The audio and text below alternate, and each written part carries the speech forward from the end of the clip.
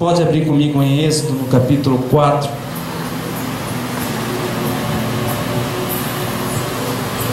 Êxodo 4, a partir do versículo 1. Aleluias. Essa é a palavra que nos traz vida, amém? Essa é a palavra que nos traz vitória. A Bíblia não fala que passará os céus e a terra e o ministério Shalom vai permanecer para sempre, amém? A Bíblia não fala que passará os céus e a terra e o Paulo, o pastor Paulo, o pastor Alberto vai permanecer para sempre. Mas a Bíblia fala que passará os céus e a terra, porém as suas palavras não vão passar, amém? Essa é a palavra de Deus que nos garante vitória. E quando o pastor Paulo nos convidou, nós oramos buscando uma palavra. Então eu falei, Senhor, então confirma essa noite a palavra que o Senhor deseja que nós pregássemos.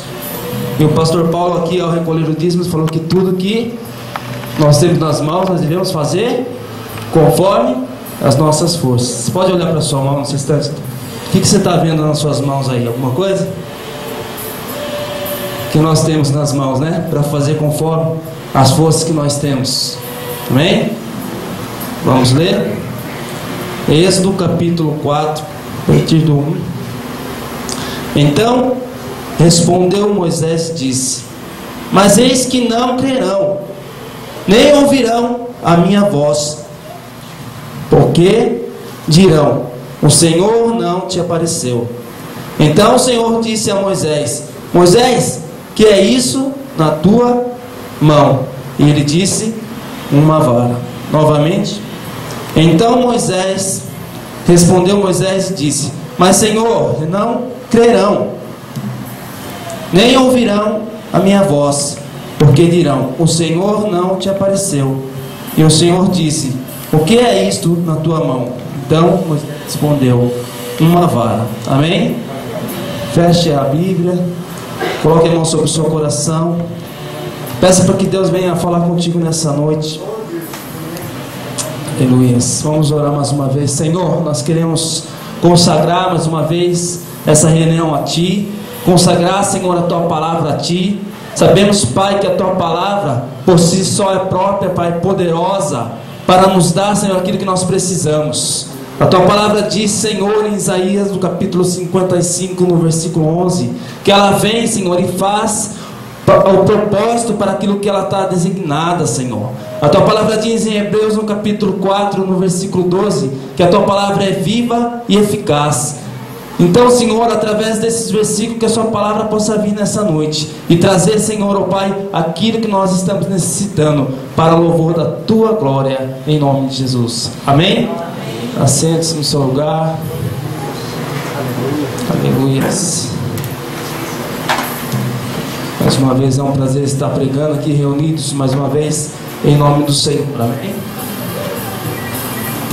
O texto que nós lemos você já conhece muito bem, você já ouviu falar desse texto muitas vezes, você já até meditou nesse texto. Mas que Deus possa falar contigo de uma maneira diferente nessa noite. Nós vemos que, e nós conhecemos a história de Moisés, do milagre de Deus na vida de Moisés, do que aconteceu, que ele foi para o Egito, se tornou lá príncipe do Egito, foi para o deserto. Então o Senhor apareceu para Moisés.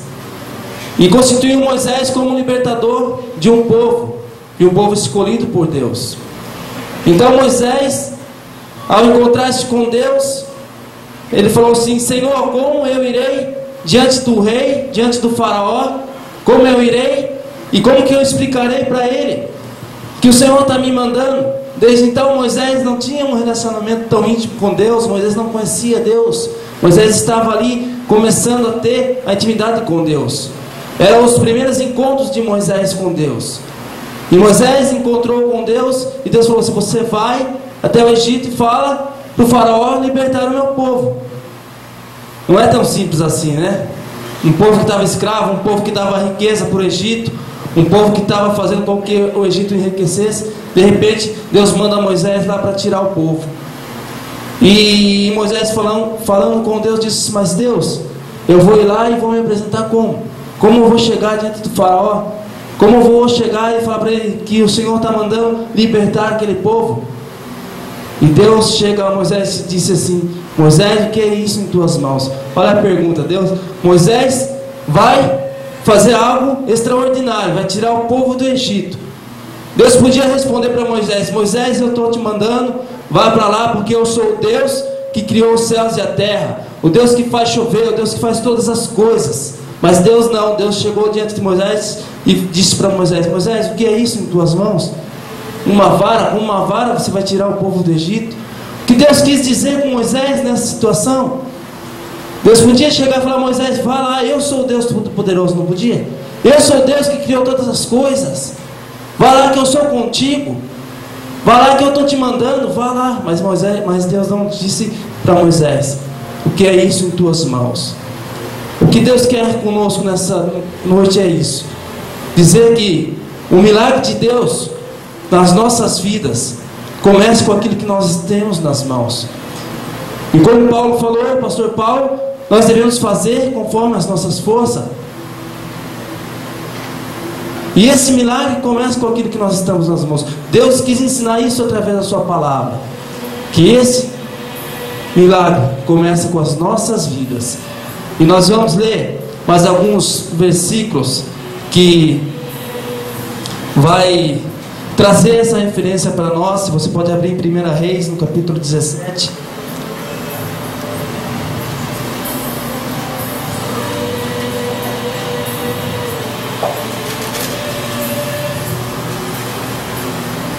Primeira Reis 17, nós vamos ler alguns exemplos de como Deus fez milagres com coisas simples, com coisas que aquilo que nós tínhamos nas mãos. 1 Reis 17, a partir do versículo 8. Diz assim: Então veio a palavra do Senhor dizendo: Levanta-te e vai a Sarepta, que é em Sidom, e habita ali. Eis que ordenarei a uma mulher viúva que te sustente. Então se levantou e se foi a Sarepta. Chegando à porta da cidade, eis que estava ali uma mulher viúva apanhando lenha. Ele chamou e disse: Traze, peço uma vasilha e um pouco de água que beba. E indo ela buscar, ele chamou e disse: Traze-me também um bocado de pão na tua mão. Porém ela disse: Vive o Senhor teu Deus que nem bolo tenho, senão somente um punhado de farinha na panela e um pouco de azeite na botija. Vês aqui, apanhei dois cavalos e vou preparar para mim e para meu filho, para que comamos e morramos. E Elias lhe disse: Não temas, vai, faze conforme a tua palavra, porém faze disso primeiro para mim um bolo, pequeno e traz para fora, depois fará para ti e para teus filhos. Até aí tá bom. Mais um exemplo de que Deus faz um milagre com aquilo que nós temos nas mãos, amém? Essa é a história de uma viúva que Deus usou para abençoar a vida de um profeta. Um profeta que estava fugindo, depois de ter desafiado os profetas de Baal, estava fugindo, foi para um lugar onde os corvos os alimentaram, depois Deus falou assim: então você vai agora a um lugar onde uma viúva te sustentará. E ele chega diante dessa viúva, e essa mulher está aposta para morrer juntamente com o seu filho, diz assim a palavra? Ele chega e pede para ela um pouco de água, um pouco de pão, e a mulher vira para ele: Mas Senhor, eu estou aqui apanhando lenha, vou fazer o último pedaço de pão para mim, para o meu filho, depois vou morrer. Mas Elias não disse, deu uma ordem para ela: faz, faz para mim. Depois você vai e come você e seu filho. Mais uma vez nós vemos um milagre de Deus, uma providência de Deus fazendo na vida de uma pessoa que não tinha nada, que não tinha mais nada, não tinha esperança. Aquela mulher estava sem esperança, sem uma visão de vida, sem uma perspectiva de melhora. Ela diz a palavra que ela estava esperando somente mais um dia para comer e para morrer. Talvez você entrou aqui da mesma maneira que essa mulher, talvez você entrou aqui esperando apenas mais uma palavra, mais uma, uma direção do Senhor. Senhor, eu vou mais uma vez. Se não acontecer nada, eu vou morrer. E o Deus que Elias, o Deus que fez esse mesmo milagre, diz para você: vai e entrega a sua vida para Ele, que Ele cuida de você, amém? Ele faz o resto da sua vida, Ele faz tudo. A Bíblia diz que nós devemos buscar primeiro o reino de Deus e a sua justiça. Todas as coisas não serão acrescentadas. E nós vimos, mais uma vez, este milagre na vida dessa pessoa, amém? Mais uma vez, a primeira, com aquilo que Moisés tinha nas mãos. O exemplo, essa mulher, ela tinha nas mãos e ofereceu ao Senhor primeiro, amém? Nós temos mais um exemplo, está em 2 Reis, no capítulo 4, no versículo 17. Segunda Reis 4.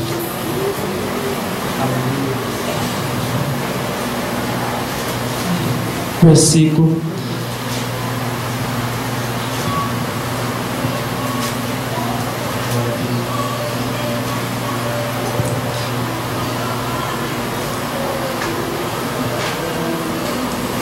Pode ser a partir do 1.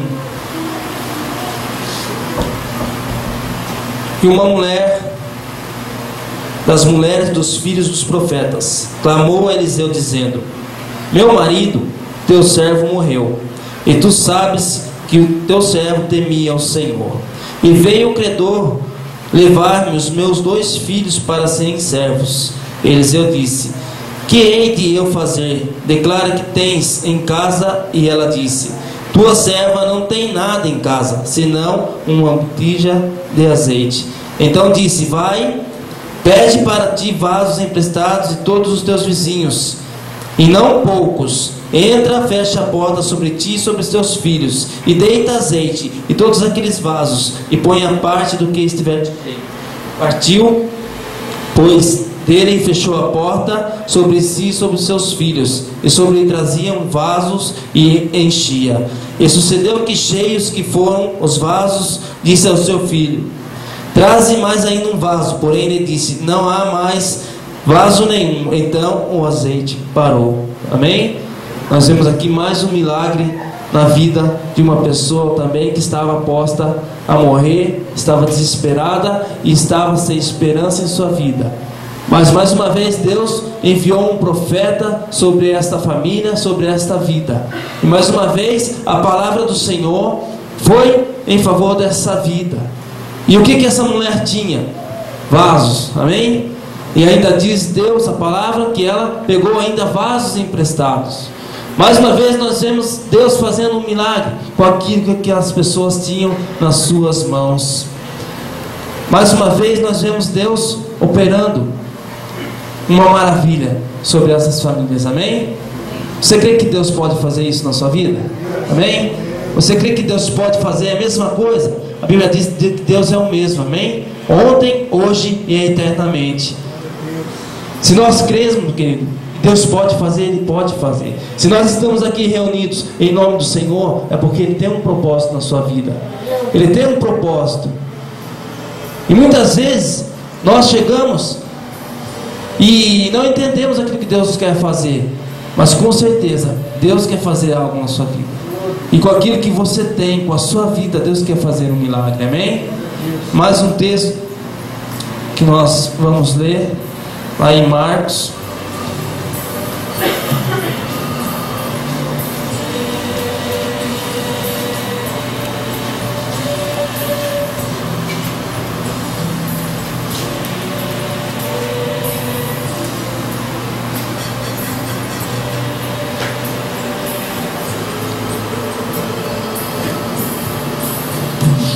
Fechar aqui sua Bíblia por um instante.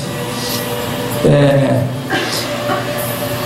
o milagre que nós íamos ler é o milagre da multiplicação dos pães, amém? Você conhece essa história, você sabe que Deus fez essa história. Deus reuniu aquele povo, Deus estava ensinando como era de costume, amém? Aquele povo, e de repente é, os seus discípulos vão, vão despedir essa multidão para que eles vão embora. Mas Jesus falou assim: nessa multidão não pode ser despedida, ela está com fome. Amém? Você acha que Deus vai nos despedir, querido? Nossa, você está com fome nessa noite de algo de Deus? Deus quer fazer um milagre na sua vida. Deus quer fazer algo tremendo na sua vida. E Deus disse entre a multidão, então procure alguém que tenha alguma comida. Alguma comida. E acharam ali então um rapazinho que tinha cinco pães e dois peixes, amém? E que Deus fez com aquele milagre, com aquilo que ele tinha nas mãos. Multiplicou os pães e os peixes e fez abundar sobre aquelas vidas. E não foi só agora com uma vida só, nós temos um exemplo que Moisés, nós temos o exemplo da viúva. Então, então nós vemos milagres individuais, mas agora Deus faz um milagre com aquilo que a pessoa tinha numas mãos para abençoar uma multidão inteira. Para abençoar toda aquela multidão. Deus usou aquilo que o menino tinha nas mãos para abençoar uma multidão inteira. Amém? Muitas vezes nós pensamos que nós não temos nada. Mas o que Deus quer dizer para nós, através dessas palavras, através desses exemplos, é que o milagre de Deus, querido, está em nós. Nós somos o maior milagre que Deus fez. Nós somos aquilo que Deus tem de mais importante. Amém? É por isso que Deus enviou a Jesus para quê? Para que nós tenhamos vida e vida em abundância. Talvez você entrou aqui sem esperança, sem motivação mais, talvez você entrou aqui desesperado. Mas Deus venha dizer nessa noite que nós temos um milagre nas nossas mãos. Amém? Deus tem algo na sua vida, querido, que Ele quer transformar em bênção. Deus tem algo na sua vida que Ele quer transformar em vitória nessa noite. Deus tem algo na sua vida, querido, que você talvez não esteja vendo, como aquelas pessoas. Talvez você pode questionar, Senhor, mas como eu vou fazer? O que eu tenho? Eu não tenho mais nada, eu estou aqui somente é, ouvindo a tua palavra, mas eu não tenho nada na minha vida que eu possa te entregar. Deus tem algo na sua vida, querido, que Ele pode fazer algo. Deus tem enxergado algo em você que você não tem enxergado, mas que Deus quer transformar a sua vida, que Deus quer fazer algo através da sua vida, eu tenho certeza. E com aquilo que você tem nas suas mãos, Deus colocou algo nas suas mãos. Deus colocou. E Deus quer trouxe aqui essa palavra para dizer que aquilo que Ele colocou nas tuas mãos, Ele vai transformar em um milagre. Eu não sei que milagre que é que você necessita. Os exemplos que nós temos na Bíblia foram milagres diferentes. Mas Deus fez um milagre, não fez? Com aquilo que as pessoas tinham nas mãos. Deus vai fazer um milagre com aquilo que você tem nas mãos. Mas o exemplo que nós temos e o exemplo que nós lemos é que nós vimos que aquelas pessoas entregaram a Deus. Para que o milagre possa se concretizar na sua vida, querido, você tem que entregar a Deus aquilo que você tem nas suas mãos, amém? Você está disposto a entregar aquilo que você tem nas suas mãos para Deus? Está disposto a entregar a sua vida a Deus? Entregar o seu coração a Deus? Entregar os seus pães, seus peixes, entregar a sua vara, entregar a sua panela, o seu azeite? Está disposto a entregar isso tudo nas mãos de Deus? Para que o milagre aconteça nas nossas vidas. Esse é o segredo que nós temos entregar nas mãos do Senhor. Amém? Não sei que maneira você entrou aqui, não sei que palavra você estava esperando ouvir, mas a palavra que Deus tem na sua vida é essa: que Deus quer fazer um milagre com aquilo que você tem na sua casa, com aquilo que você tem nas suas mãos, mas Deus quer que você entregue a Ele nessa noite. Amém? Deus quer que você entregue a Ele e faça a prova dele, porque Ele vai fazer um milagre. Nós vimos Deus operando um milagre. E eu creio que Deus quer fazer algo na sua vida. Amém? Se você quiser colocar-se de pé no seu lugar, nós vamos orar ao Senhor nessa noite. Feche os teus olhos, querido, estende as tuas mãos. Medite seu coração agora nesta palavra. Medite naquilo que você está necessitando, naquilo que você está buscando do Senhor. Talvez você entrou aqui chorando, atribulado. Talvez você entrou aqui esperando algo do Senhor. Coloque nas mãos de Deus nessa noite. Nós louvamos aqui que nas tribulações Ele continua sendo Deus nas nossas vidas. Ele continua sendo o Senhor. A palavra do Senhor diz que Ele é o socorro bem presente na hora da angústia. O Senhor está presente aqui nessa noite. Eu creio que o Senhor quer fazer da tua vida, querido, um canal de bênção. Quer transformar a sua vida. Quer fazer de ti um potencial enorme na presença dEle. Coloque aquilo que você tem nas mãos do Senhor nessa noite. Estenda as suas mãos a Ele e diz para Ele: Senhor, toma minha vida nas tuas mãos. Se eu não tenho enxergado aquilo que eu tenho, me mostra, Senhor, como me mostrou, como enviou aqueles profetas a falar. Fala para mim, Senhor, o que eu devo entregar a Ti, Senhor, para receber este milagre, para receber aquilo que o Senhor tem a fazer na sua vida.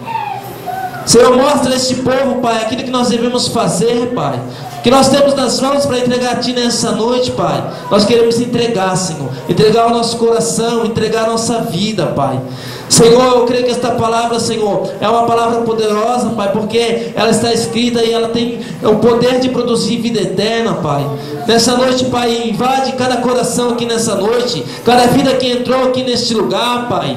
Derrama, Senhor, a tua bênção, Pai. Coloca a tua alegria, Senhor, nos corações, nas vidas aqui nessa noite. O Senhor tem propósito em todas as coisas, Pai. Abençoa, Senhor, as mãos de cada vida que entrou neste lugar. Derrama sobre ela, Senhor, o teu entendimento, Pai. Dá a ela, Senhor, a tua visão, Pai. O que nós devemos fazer, Pai, para alcançar do Senhor, Pai, o milagre, Pai que nós devemos entregar, Senhor, nessa noite para Ti, Pai, para recebermos, Pai. Eu estou disposto, Pai, a entregar minha vida a Ti, Senhor. Eu estou disposto a entregar, Senhor, aquilo que eu tenho, Pai. Coloca, Senhor, ao Pai, agora os Teus anjos, Senhor, neste lugar, Pai. Recebe, Senhor, aquilo que nós temos. Nós consagramos ao Senhor a nossa vida, Pai. Nos ergue, Pai, nos dá graça, Senhor, para continuarmos a te servindo, Pai.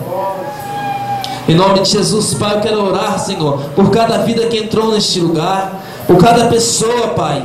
Eu sei que o Senhor, oh Pai, deseja fazer, Senhor, oh Pai, muito mais do que nós conseguimos enxergar, Pai. Mas que o Senhor possa mostrar, Senhor, para as nossas vidas aquilo que o Senhor tem, Pai. Aquilo que o Senhor tem preparado, Pai. Mesmo que nós não consigamos enxergar, Pai, que nós possamos ver, Pai, o teu milagre nessa noite, em cada vida, em cada vida que entrou neste lugar. Nós estamos na tua presença, Pai.